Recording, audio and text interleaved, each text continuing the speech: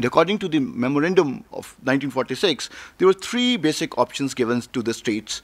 One was independence, the second was uh, to join uh, India or Pakistan to any of the dominions. And the third, to uh, some states could join together to form an independent bloc. But unfortunately, when the, the, time came for the execution of the, uh, the plan, uh, Mountbatten unfortunately did not uh, follow the rules. Basically, it was because of the pressure of Congress and especially Jawaharlal Nehru.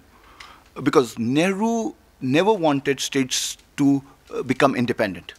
Uh, his major problem was that uh, Nehru wanted to avoid balkanization of India.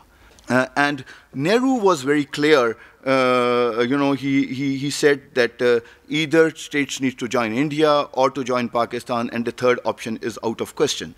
Patel uh, also warned the rulers of the states that, uh, that the alternative of cooperation with India uh, for them would be anarchy and chaos. Uh, these were exactly the words of uh, Sardar Patel, while Gandhi himself uh, termed the declaration of the independence of states as declaration of war against the people of India.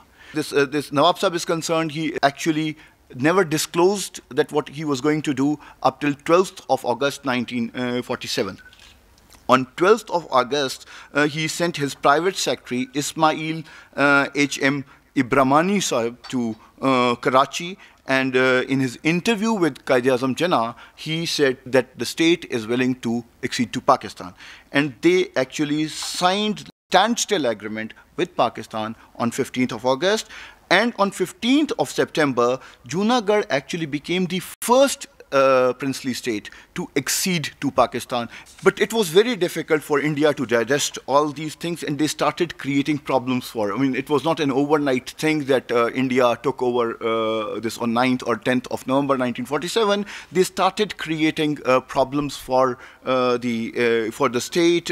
they were stopping supply of essential commodities into the state. And then, you know, they also created Arzi Hakumat, uh, that is the provisional uh, government uh, of Junagadh in Bombay on 25th of uh, uh, September 1947. Uh, and Indian cabinet on 17th of December decided to, to send their troops to the boundaries of Junagadh state. Mid-October, huge number of Indian troops uh, regular Indian troops because Indian basic claim is that they were the volunteers, they were the indigenous people who revolted against uh, uh, the Junagadh state and they, uh, they fought against him. That is not true. Nawab Sahib was not uh, uh, in the state. He was in Karachi negotiating with uh, Jinnah and other Pakistani leaders. but at that time, it is also on record that on November 8, uh, uh, Uh, uh, Shahnawaz Bhutto, the Diwan of uh, uh Junagadh, he wrote a letter to the Indian Regional Commissioner at Rajkot, in which he requested the government of India to take over the administration of Junagadh in order to save the state from sheer administrative breakdown and find an honorable solution of the problem of Junagadh accession. And finally, as we know, it was either 9th or 10th of November when the Indian troops entered uh, and there was no resentment and eventually they took over